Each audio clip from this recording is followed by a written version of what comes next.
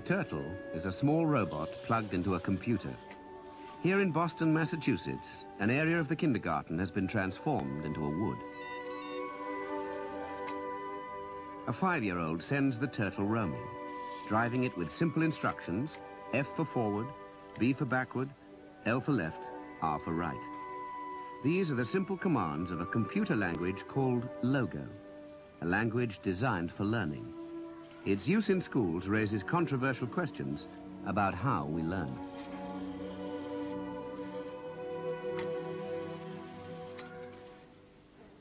In a London school, seven-year-olds use similar instructions to drive an imaginary turtle on a journey round the planets.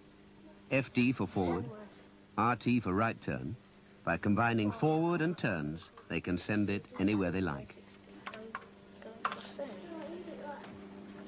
Logo was designed for learning, and it's unique in this respect. No other language was designed for that purpose. Basic and its variants, such as Pilot, which are most commonly used, were made for totally different purposes and were handed on like cast-off clothing to be used by the world of education. I think this is a scandal.